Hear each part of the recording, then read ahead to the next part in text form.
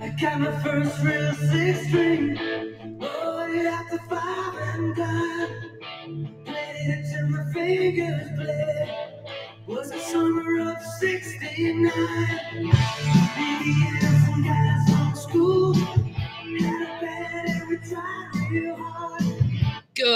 Morning, McAvinnue School. Mr. Domina here, handling the McAvinnue morning announcements. Today is Monday, September 18th, 2023. Thank you once again for joining me for the very first edition of the brand new school year. So, we didn't launch with morning announcements right from the first day of school because we really wanted to have some time to talk and practice our core values at McAvinnue. That's right, that is respect, responsibility, and safety. So, now moving forward, morning announcements will be the usual time, which is Monday, Wednesday, and Friday every single week. And remember, on Tuesday and Thursdays, you'll still do your morning meeting, but you'll be focusing on open circle and learning and practicing all the ways that you can make positive decisions at the best school that we all know. So, very special edition of morning announcements today because it's the first one. So, also, really cool uh,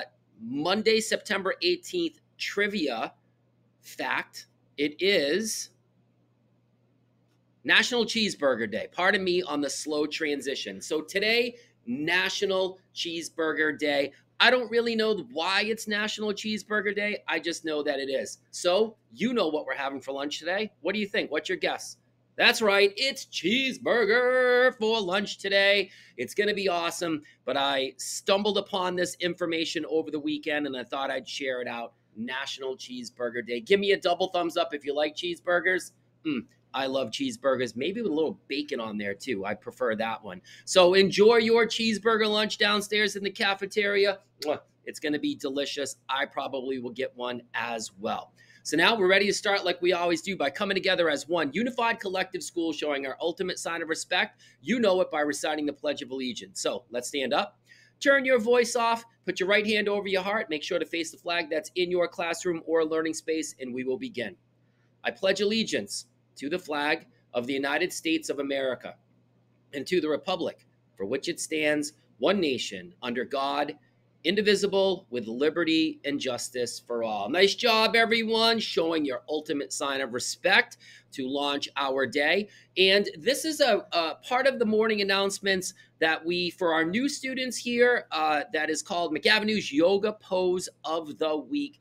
Every single week, we will have a yoga pose or a yoga technique that we will practice at least two days a week um, when we do our morning announcements video edition and that will be on Monday and Wednesday. And on Friday, we typically pause yoga because we get our bodies and minds working together as one in a fun way through something that now is so famous that everybody knows about it. That's right, Friday dance party. We will be bringing that back on Friday. But this week's yoga pose is the ocean breath. It is actually the pose that we ended our school year with last year, and we're going to start it with this year. So the ocean breath is less about yoga and more about controlling your breathing. And when you practice the ocean breath, you will be able to remain calm or get calm. You will be able to find your center. We talked about that a lot last year and the year before. Your center is that perfect spot where you have the right amount of positive energy so that you can have the best day possible. All right.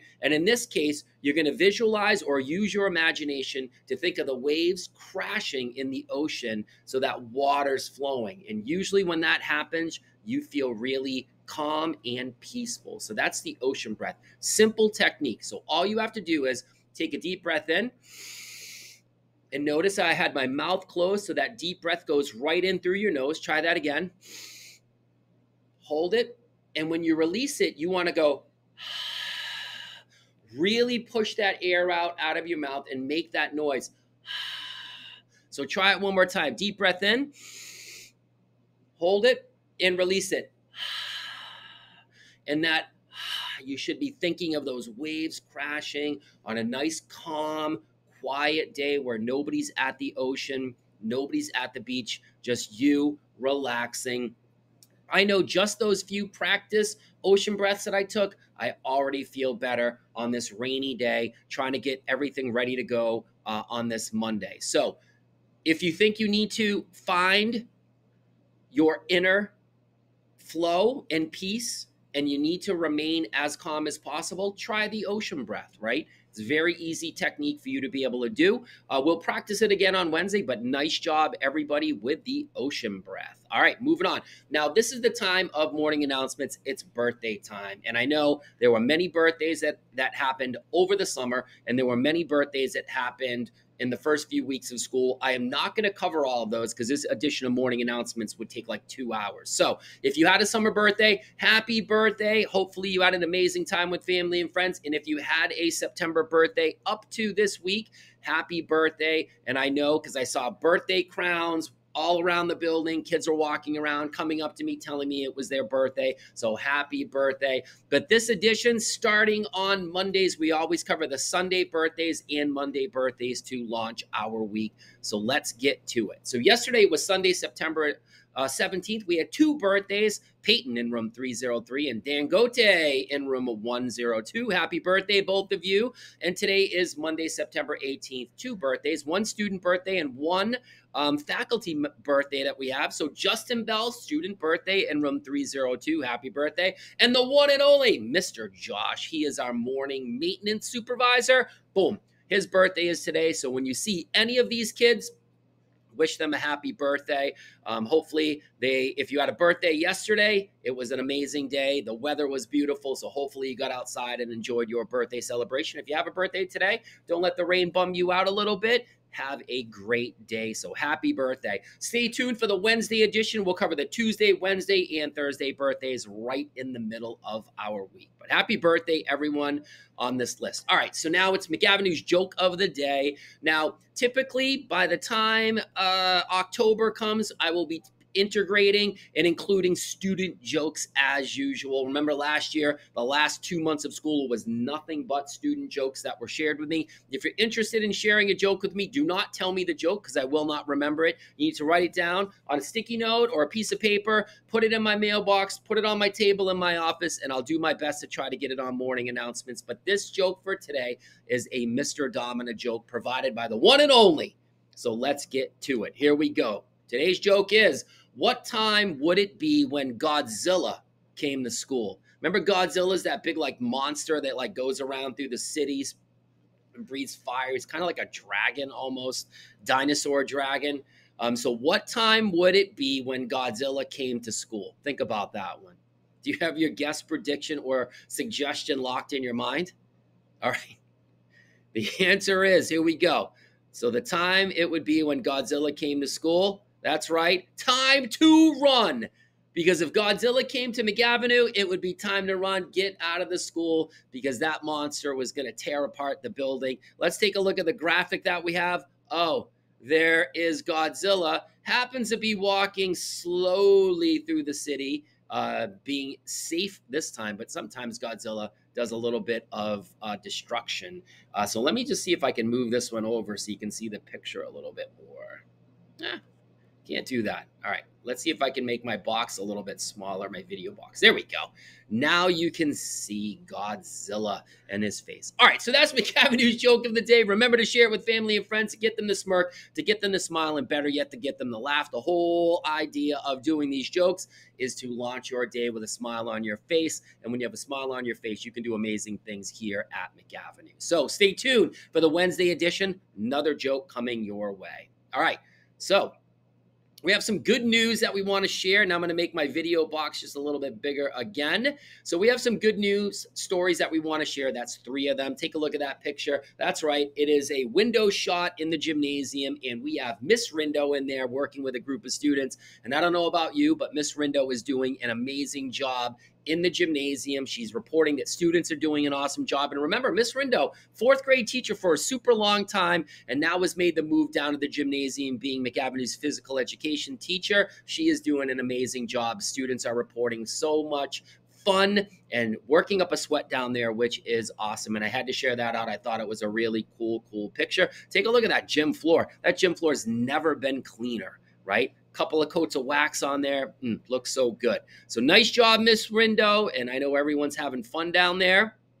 All right. So uh, students in room 103, that would be in grade two, Mr. Cotta's class. So every single year, they always post right outside of their classroom how they are going to be respectful, responsible, and safe at McAvinnue. And this year, no exception. I walked by and I saw this. Take a look. They have a lot of great things that they can do right, in order to demonstrate our three core values. And remember, those core values are just a guide for you to follow those three categories. And if you do those three things, chances are you are going to be amazing here at McAvinnue. Now, remember, it is a guide, right? So there's a lot of ways to be respectful, there's a lot of ways to be responsible, and there's a lot of ways to be safe. And I'm sure you've already talked about that with your teacher and your friends. So just remember, if you do those three core values, you are going to be a amazing student at the best school that we all know. So nice job, students in room 103. And Mr. Cotta always working on those core values. I like that. All right, so take a look. Lots going on in these pictures in room 205. They launched ST Math this past week and they had they made these ST Math GG hats. They jumped on the computer and they logged in some minutes. They, looks like they're holding up a cool like activity coloring sheet that they had. Amazing and um, I know many other classes did that as well. 205 was the class that shared out uh, their their ST Math launch. And remember, teachers, if you haven't jumped on ST Math, just about everybody has. You have until the end of the month to jump on ST Math and have all of your kids log in. And remember, the login is really simple, and then you can start puzzling and getting it going. If you need any help, you can always reach out to Mrs. Bellaros and I, and we can get you up and running. But the deadline for every kid to get on ST Math boom, the end of September. So nice job, students in room 205. Really great. And I did share that with my friends at ST Math, and they thought it was really, really cool. All right.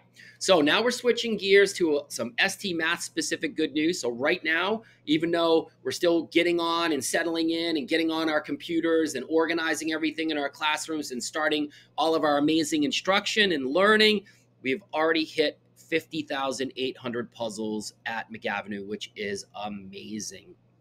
So amazing. And then we also are right now about 6% progress. So this year's goal for ST Math is a little bit different. Last year, it was 80% progress as a school, right? 80% remains the same percentage that we're going to focus on, but it's not as a school. It's for every single student that logs into ST Math your goal and our school goal is 80%. So last year we had kids that were like all the way up to like 400, 500%. And we also had many kids on the other side of that were only at 20 or 30% by the end of the year. The goal is every kid 80% or more. And I think we can do it. Remember, last year we won all sorts of awards for ST Math. We were one of the schools recognized in Massachusetts for having the most growth. Remember, we competed in all of those national um, kind of like national challenges and we were recognized all over the place for all the great things that we do. And you know we were the top school in lowell for st math minutes and puzzles completed. We were way out ahead and it was a close match with the washington school about three quarters of the way through the school year and then we pulled away in typical McAvinnue fashion by working really hard. And so we'll have to see what's going to happen this year. So remember log into st math get on uh, the platform, complete those puzzles, and the rest will be history. So, more updates for ST Math will be coming at least once a week at the beginning on the Monday edition, and then throughout the week if we have good news to share out as well. So, nice job, everybody. All right, so when you see that blank screen, usually it's like purple, teal kind of combination. This one's kind of a washed out purple and teal. It is time to talk about McAvinnue's core values. All right, so what's the first one won? Let me hear it. That's right, it is respect. And what's the second one? Nice and loud? Oh, I like it. Responsibility. And finally, what is that final core value? Super important. Let me hear it. Touchdown. That's right, it is safety. So, I usually provide a core value challenge on Monday and Wednesday. And then Friday is what we call Dealer's Choice Challenge, where you get to pick a core value, set a goal for yourself that covers Friday, Saturday, and Sunday. But today is Monday, so I will pick a core value and I want you to focus on responsibility. So there's many ways that you can be responsible, but what I want you to do is responsible students at McAvinnue launch their week taking care of business in the classroom. That means their desk is organized, their locker is ready to go, they have that purple communication folder turned into the teacher, they're following their schedule, and they're setting themselves up to be successful not only for Monday, but for the whole week. If you start out really on the wrong foot, on the first day of the week, which is Monday, it's very hard. You have to work twice as hard to get yourself back on track. And then you got to still continue to make progress the rest of the week. So start out strong, being responsible, and taking care of all of those early things that you need to do on Monday so you can be ready to learn and you can be ready to um, enjoy all the amazing um, teaching that's going to happen from your teacher. All right. So if you think you can do that responsibility um, core value challenge today, give me a double thumbs up. Boom, I like it. And remember, when we put respect, responsibility, and safety all together, ooh, I like that one, we will continue to make McAvinnue the best school that we all know. So that's it from me. It's time to do our fist bump sign out. Get your fist up and turn it. Here we go. Let's do three of them. One, two, three. So go get them today. Work hard today. Laugh today. Smile today. Remember your core value responsibility challenge today. Start out strong. It'll make the rest of the week much easier for you. Rainy day today, so enjoy your indoor recess. Make sure to cooperate with other, others and include others in the play that you are choosing to do in the classroom. Remember, be kind to each other. Enjoy your cheeseburger down at lunch. It's going to be an amazing, amazing, amazing day. So, that's it for me. You'll catch up with me in all the usual places, which is everywhere. So go get them and have some fun, and I'll see you soon. Take care. Nice job, everyone. First morning announcement of this brand new school year. Take care. See you soon.